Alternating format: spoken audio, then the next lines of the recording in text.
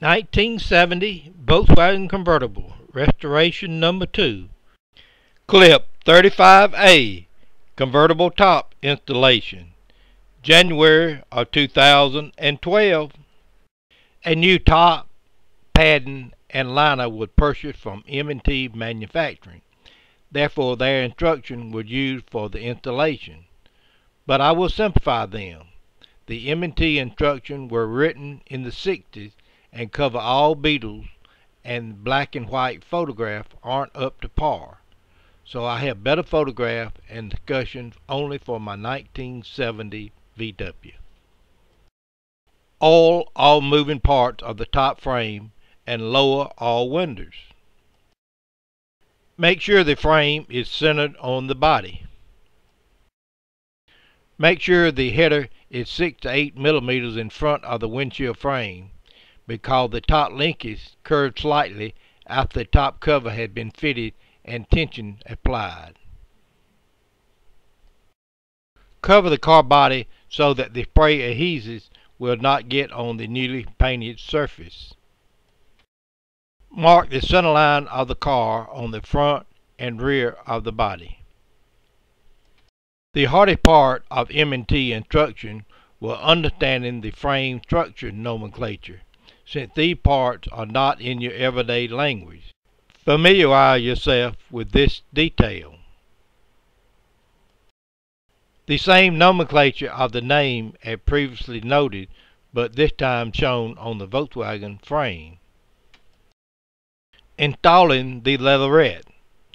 Fold the top back and add paper coverage to protect the body and spray D313 adhesive on the back side of the header.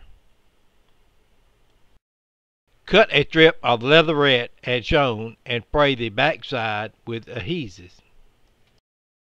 When the adhesives become tacky, place the leatherette strip on the back side of the header as shown.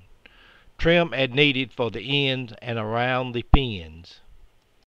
Cut a smaller strip of leatherette as shown and spray the back side with adhesives and apply to the bottom side of the header as noted above.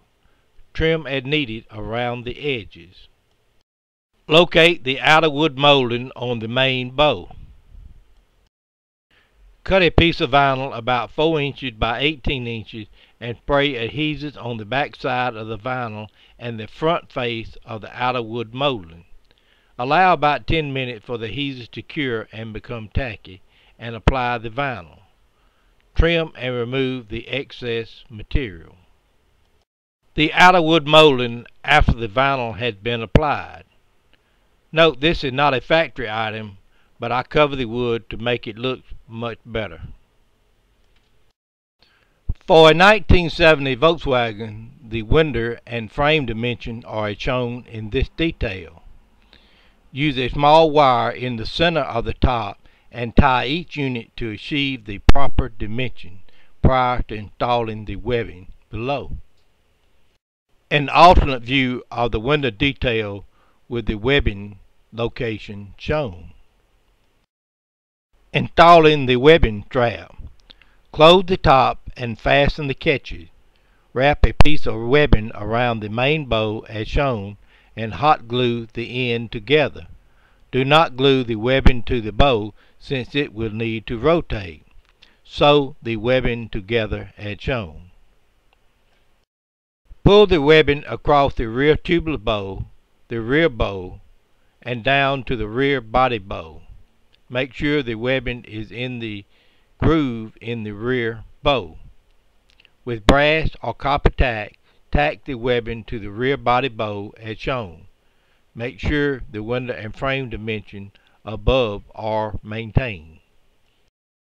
Make sure the webbing is in the groove in the rear bow and tack it into place, maintaining the frame dimension as discussed previously.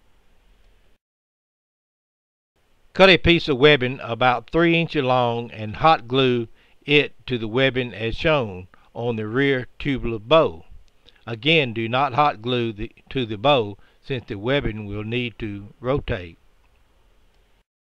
Sew the two pieces of webbing together through the hot glue portion.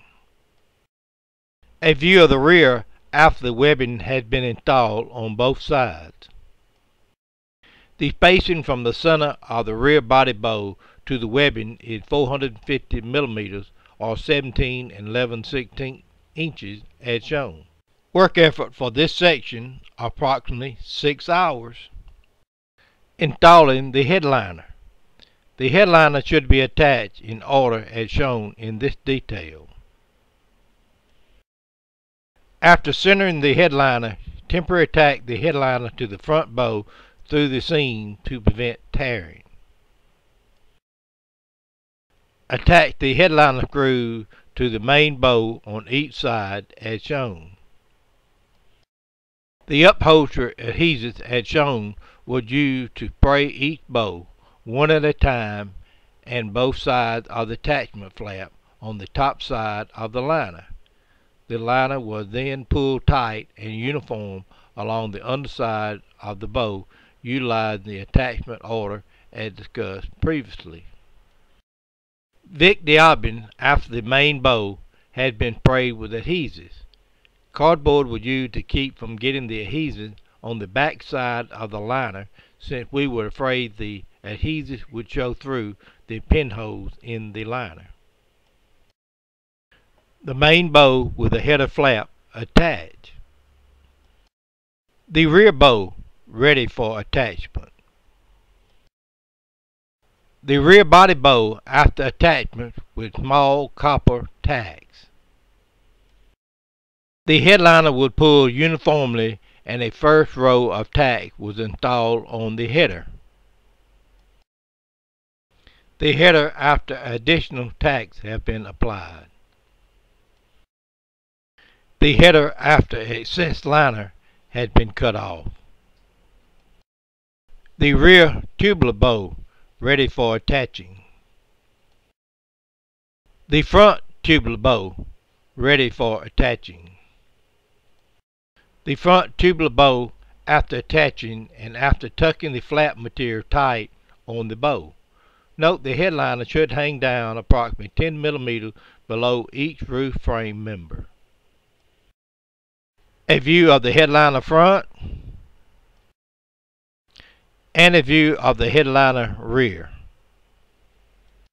Work effort on this section approximately 3 hours. Cut two pieces of vinyl 4 inches by 18 inches as shown and spray the back side with adhesive.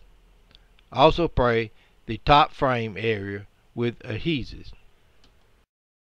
Slowly apply the vinyl covering to the frame and rub out all air pockets. A view after installing the vinyl cover. A view from the bottom after the vinyl cover has been attached. Tie a length of 4 mm diameter cord to the main bow and loop it around the rear tubular bow and tack it to the end of the rear bow. Sew the cord to the headliner side seam with the cord string under tension. A close-up of the headliner seal flap after being sewed together to the string and to the cord. For continuation, see Part 35B.